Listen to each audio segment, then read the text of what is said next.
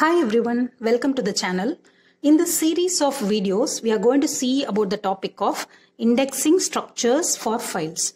So before going into the actual types of indexes and how they are used for database access, first of all, in this video, we are going to learn why do we need index and what is the use of an index file in accessing the data which is there in the database.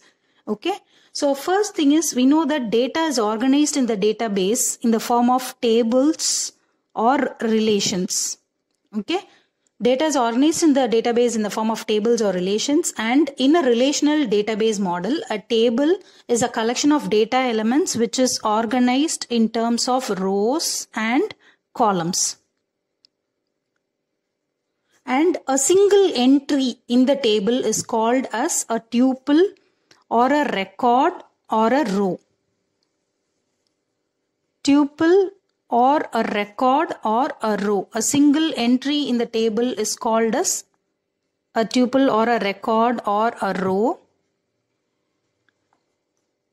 And a tuple is nothing but it represents a set of related data. Okay, so if you take each record, it can be broken down into several smaller parts of data, which is also called as attributes. Okay, in short, uh, the different columns which, which is there in your uh, table is called as attributes. So let's say as an example, you have a student table here. Suppose we have the student table for storing information about students. It contains three columns, namely name, department, and section. So name, department, and section are called as the attributes of this student table. Okay?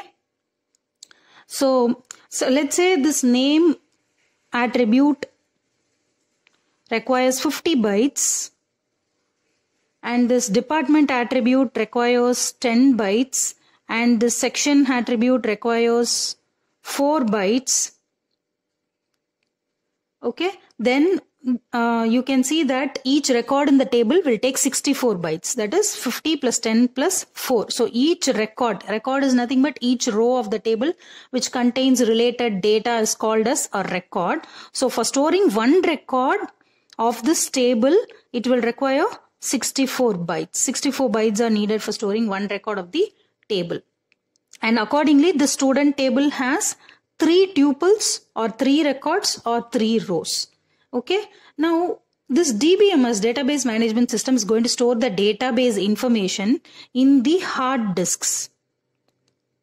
Okay. DBMS stores the database information in the hard disks.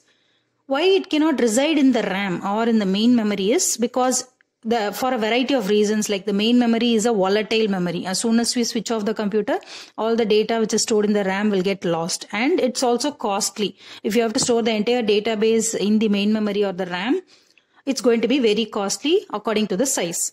So data has to be the data of the database has to be in the ram for the dbms to operate on it. Okay? You're going to store the D database information in the hard disk but if the DBMS has to operate on the data, it has to be on the RAM, which is the primary memory. Note that hard disk is your secondary memory and RAM is your primary memory. So that means for every read operation, the database management system has to transfer the data from the disk to the main memory. And for every write operation, the DBMS has to transfer the data from the RAM to the disk. So since both are high cost operations, you need to plan to execute them carefully. Now, talking about how data is organized in the hard disk. How data is organized in the organized and accessed in the hard disk.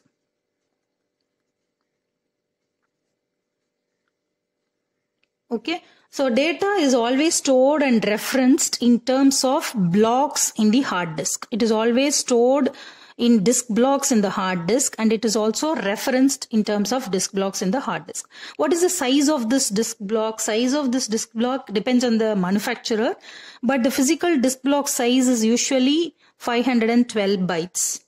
Okay, which is nothing but the size of the smallest block which the disk controller can read or write. So assume that for this student, assume that uh, the block size in our hard disk is 512 bytes. So for our student table example, every record is going to take 64 bytes. So every disk block capacity is 512 bytes. So every block can contain how many records? 512 divided by 64. Each block can store 8 records. So let's say in my, in my database, I have 120 records in my database. Then how many disk blocks will I need to store all these records? I will need 120 divided by 8. That is 15 disk blocks will be required to store all the data of my database.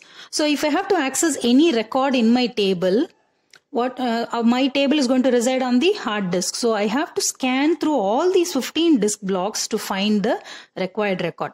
So if the DBMS follows this procedure of linear search, the access time is going to be very slower.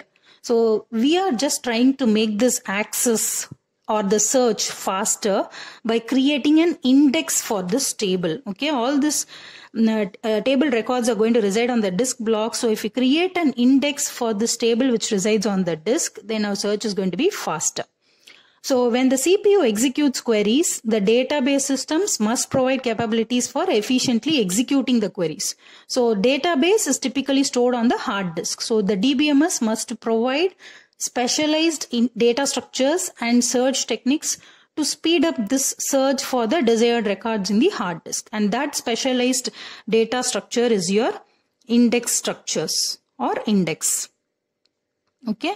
If I say index structures or index, both are same. So it is nothing but a specialized data structure which just speeds up the searching of the desired records in the hard disk. So index, now let's see what is the meaning of this index structures or index. Index structures are nothing but they're just additional auxiliary files. Additional auxiliary files which reside on the hard disk to speed up the retrieval of records in response to certain search conditions. Okay, when you're trying to retrieve records based on some search conditions, then that uh, that is fastened or you are speeding up that process with the help of this index structures. When I say index, just imagine the index of a book. Uh, you you will just look for some keywords in the index for a book and that keyword that index will give you the page number where that particular keyword is present same concept is applied here also so another thing is these indexes provide secondary access paths Indexes provide secondary access paths to access the record. What does it mean? That means secondary access path means it is not going to affect the physical placement of records in the primary data file on the disk. The actual records are going to reside in the same place on the data file on the disk. That is not going to be affected. It, it is just index is just going to help you to access those records on the disk. Now, how am I going to construct this index file is so index file, index file is a small file which resides on the disk and it contains two fields. One is the indexing field and the other one is the pointer. Okay, you have two fields in the index file. One is the indexing field. This indexing field is an attribute which is used to search for the records in the data file. So from where will I get this indexing field? Any field present in your relation of the database. Now you're going to have this. I told you table is also called as relation.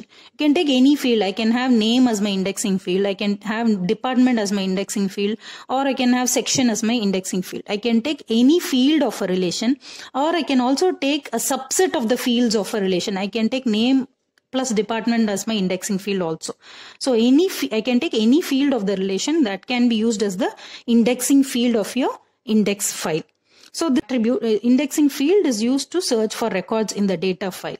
And what is the next field? Second field is a pointer which points to the disk block containing the record with that index field value. Okay, this pointer is going to point to the actual disk block in the hard disk which is going to contain the records with that indexing field value okay?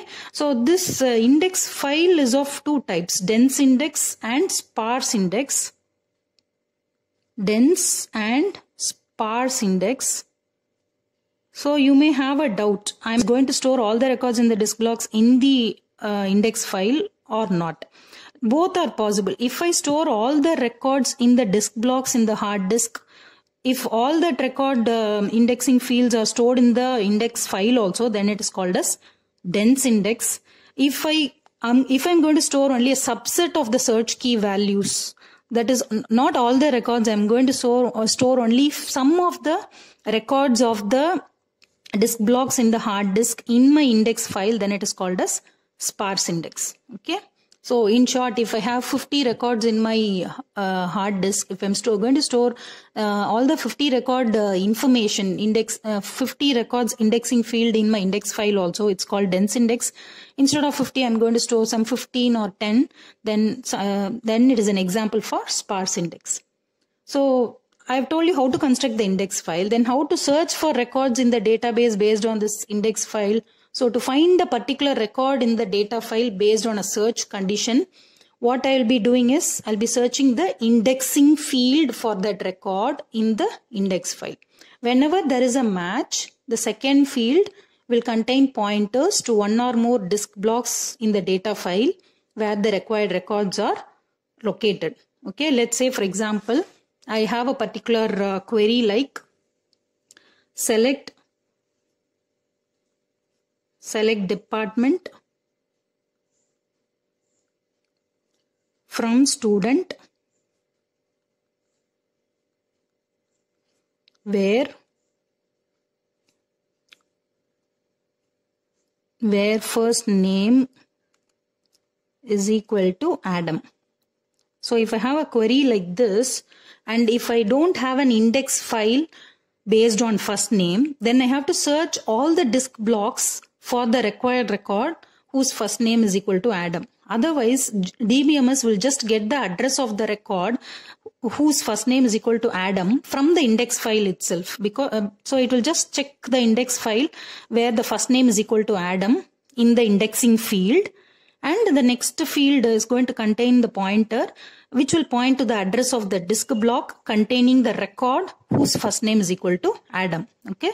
I hope now you understand the difference between having an index file and not having an index file. If you don't have an index file, then you have to search all the records in the uh, in your uh, data file in the hard disk. If you have an index file, then just check in the index file uh, the address of the record whose first name is equal to Adam and then just access it. Okay. So you have three main types of indexes.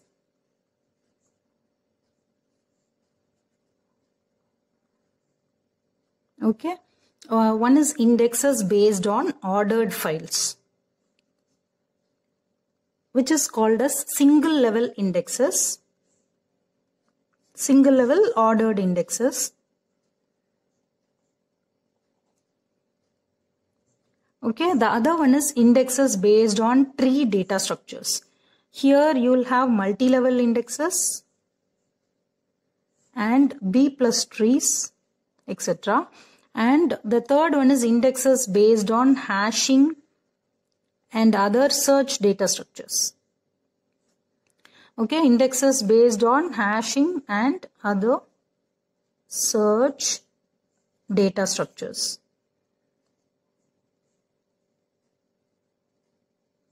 Okay, we'll see about each of them in detail in the next video. Thank you.